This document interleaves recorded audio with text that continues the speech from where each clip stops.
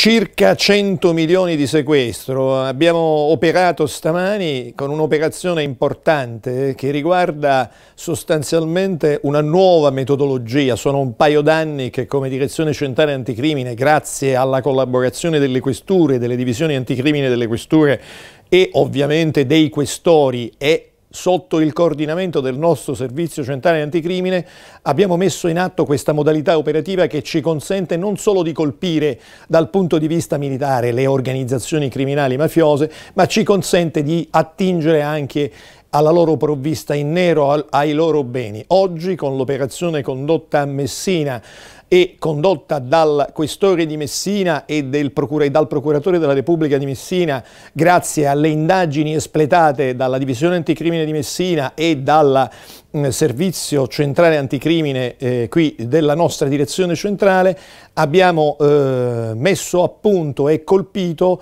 un patrimonio che è un patrimonio che nel corso degli anni è stato accumulato grazie sostanzialmente a connivenze criminali mafiose riconducibili alla cosiddetta mafia barcellonese. Sono eh, diversi cespiti, diversi beni, sono, eh, ci sono diverse società, abbiamo colpito sostanzialmente una provvista che è stata accumulata in oltre 15 anni eh, di attività le misure di prevenzione patrimoniali, l'ablazione patrimoniale, i sequestri finalizzati alla confisca sono fondamentali per il raggiungimento dell'obiettivo di contenere l'azione delle, delle, organizzazioni criminali mafiose e pensare a un loro futuro eradicamento dai, dai nostri eh, territori. Volevo sottolineare l'importanza di alcuni interventi che sono stati effettuati grazie all'applicazione pratica, concreta della nuova direttiva europea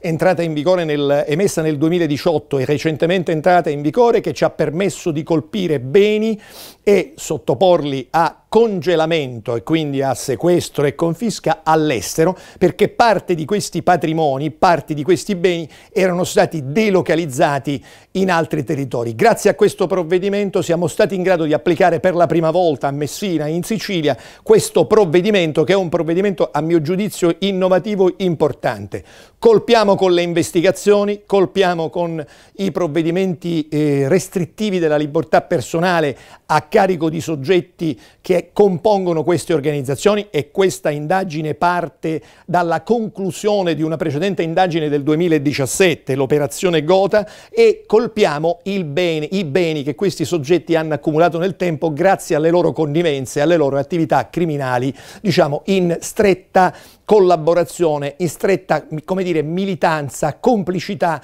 con appartenenti eh, militanti di queste organizzazioni mafiose. Eh, diversi sono i reati che sono stati individuati come reati che hanno portato all'applicazione di queste misure di prevenzione. Il processo di prevenzione è importante, gli strumenti che siamo in grado di utilizzare con le misure di prevenzione che ci sono concesse dal codice antimafia sono importantissimi ed è importante che si continui a agire su questo punto come noi riteniamo si debba fare per raggiungere l'obiettivo finale di colpire definitivamente e pensare di liberare da questa mala pianta il nostro territorio.